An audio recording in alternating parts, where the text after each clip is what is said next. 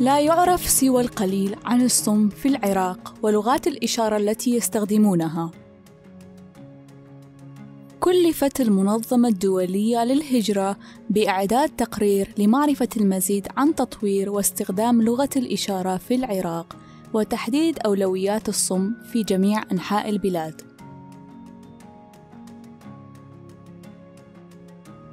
ضم فريق البحث مستشارين دوليين من الصم وجامعي بيانات صم من العراق.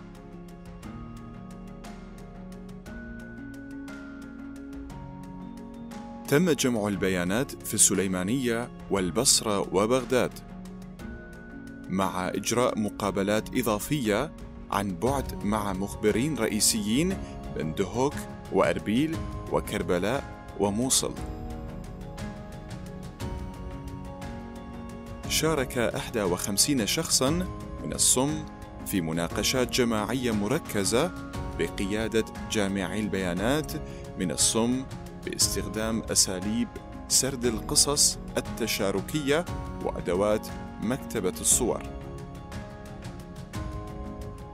تم إجراء 14 مقابلة من قبل جامعي بيانات الصم مع ممثلين من المنظمات المعنية بالأشخاص ذوي الإعاقة التي يقودها الصم ومعاهد الصم والمنظمات المعنية بالأشخاص ذوي الإعاقة بصورة عامة ووزارة العمل والشؤون الاجتماعية مع مترجمي لغة الإشارة. وبعد تحليل البيانات عقدت ورشة عمل في بغداد للتحقق من صحة النتائج.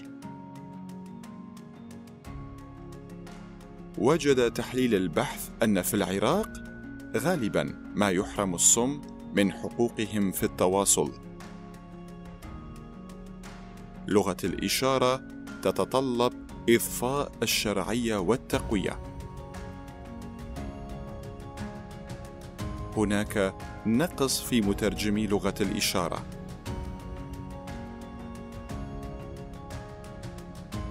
لا يوجد تدريب أو إطار أخلاقي للمترجمين الفوريين.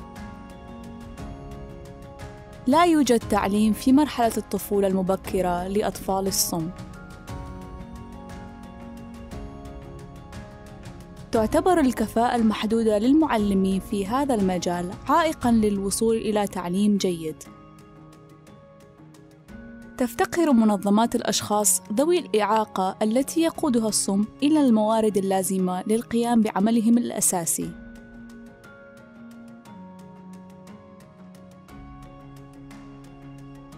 بعض المنظمات للأشخاص ذوي الإعاقة لا تشمل الصم. غالبا ما يتم السيطرة على الأشخاص الصم من قبل الآخرين وهم أكثر عرضة لسوء المعاملة. يتمتع الأشخاص الصم بفرص عمل محدودة. ونادرا ما يستفيدون من المساعدات الإنسانية والإنمائية. أدت هذه النتائج إلى عدد من التوصيات بما في ذلك زيادة المعرفة بلغة الإشارة بين أسر ومجتمعات الأطفال والبالغين الصم.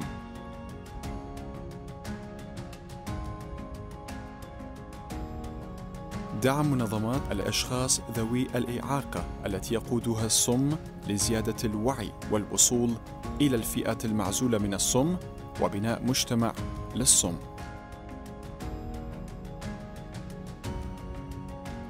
تطوير استراتيجية تتضمن برنامج تدريب وطني لزيادة عدد ومهارات مترجمي لغة الإشارة.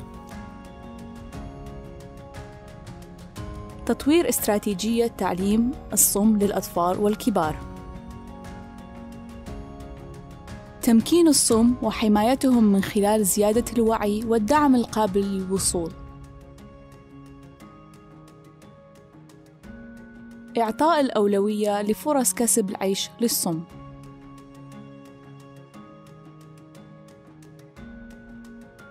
بصفة جامع بيانات من الصم كان من الأسهل بالنسبة لي التواصل بشكل مباشر مع المجيبين الصم.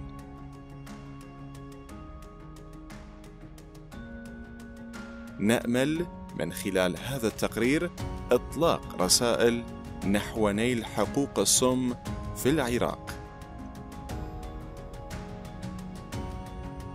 من خلال تجربتي كمجمعة بيانات من الصم لاحظت أن العديد من الصم لديهم الكثير من المعلومات لمشاركتها.